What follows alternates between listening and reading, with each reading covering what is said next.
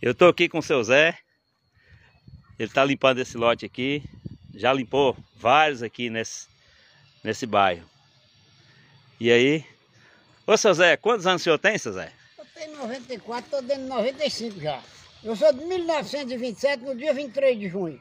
Ô, oh, retado. E o senhor tá dando conta de limpar esses lotes aí, tudo, seu Zé? Aí tá faltando serviço pra mim. Sei. O povo fala que não tem serviço. Não tem serviço para esses vagabundos aí que não querem trabalhar. Tá querendo viver às custas do dinheiro de, de governo, presidente de república. Eu nunca precisei de, de um centavo de presidente nem de prefeito para eu poder viver. Para isso eu trabalho. E ando com o bolso cheio de dinheiro ainda.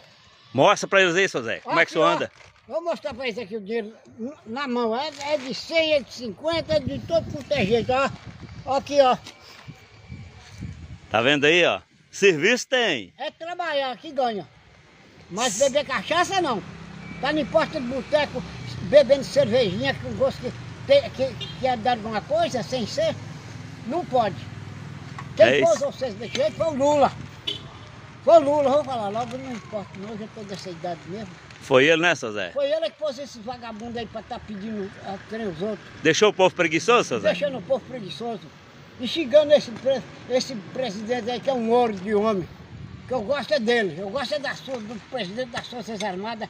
Eu gostava de um Figueiredo, de Castelo Branco e agora é desse aí. No tempo da ditadura, o senhor sofreu alguma coisa, Zé? Não sofri nada, porque eu trabalhava. Eu gostava era desses mais. Aí, ó. Tinha serviço para todo mundo. Quem não quer trabalhar porque é vagabunda.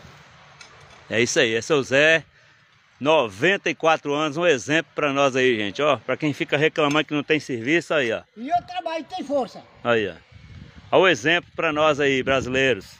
É isso aí.